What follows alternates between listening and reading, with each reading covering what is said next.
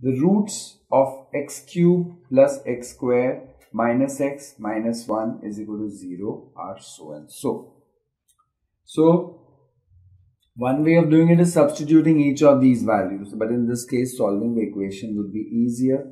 So, if you look at these two, you can take the sum of the coefficients or in these two we can take out x square common and you get x plus 1 in these two we can take minus 1 common and you get x plus 1 is equal to 0 this means x square minus 1 into x plus 1 is 0 this means x minus 1 into x plus 1 into x plus 1 is 0 so in that case, each of them is 0. That means x minus 1 is 0, which means x is 1.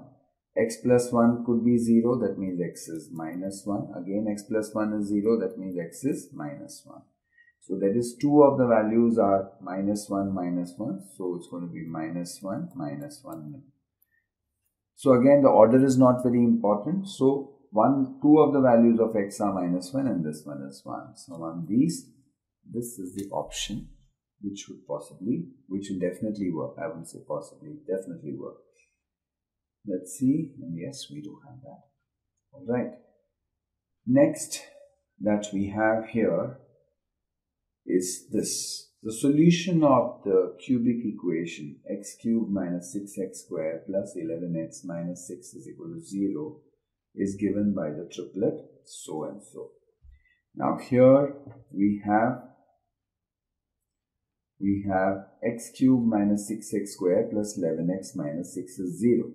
So if you put x as 1 over here, here you don't, there doesn't seem to be any common factor. Put x as 1, so you get 1 cube 1, minus 6 into 1 square minus 6, 11 into 1, 11, minus 6. If you add up all these, it turns out to be 0. So when you're taking x is equal to 1, the value of this polynomial turns out to be 0.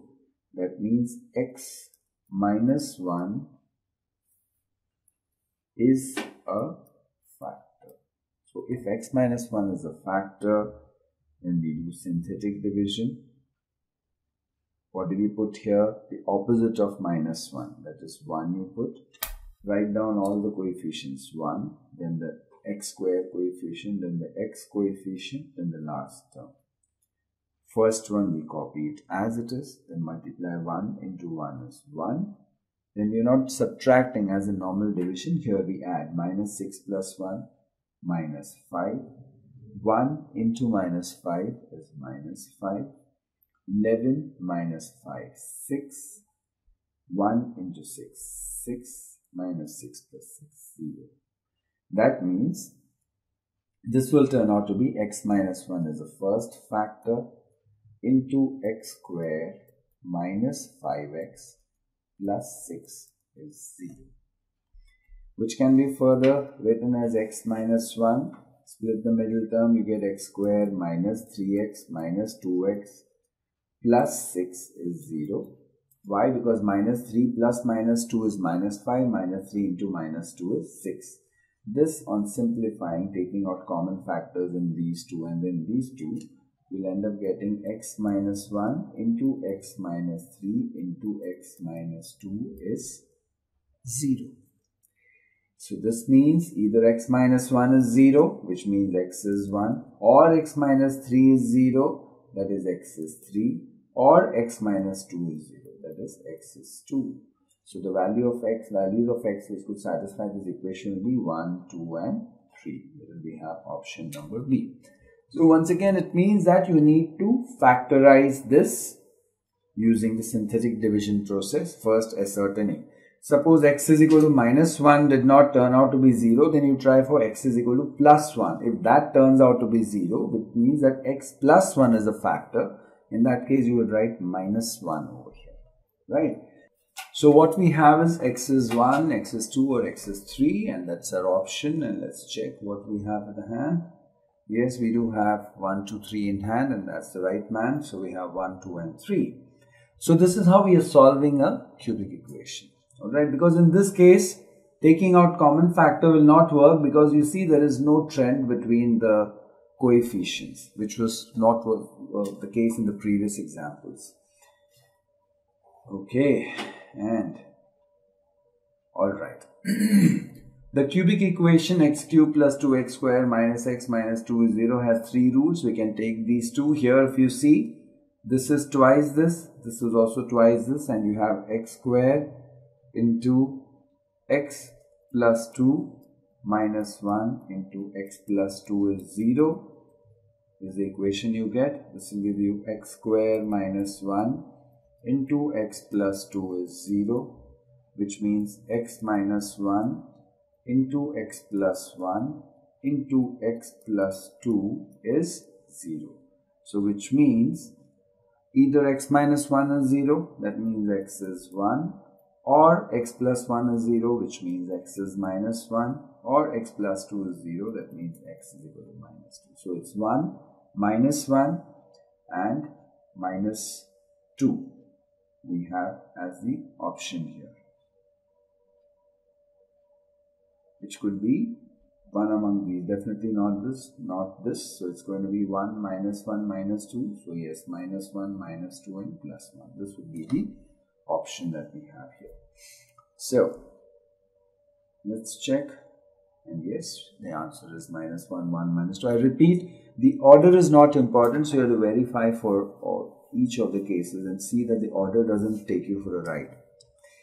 All right.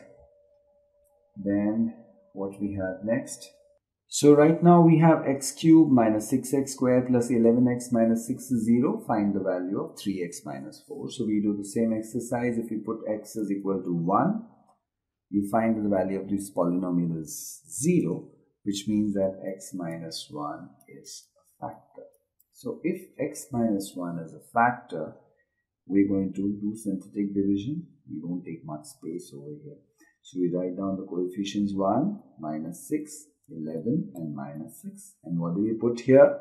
Not this minus 1, but the opposite of minus 1, that is 1. The first one, we write it 1 as it is, 1 into 1. 1 minus 6 plus 1 is minus 5. 1 into minus 5 minus 5. 11 minus 11 plus minus 5, which is 6.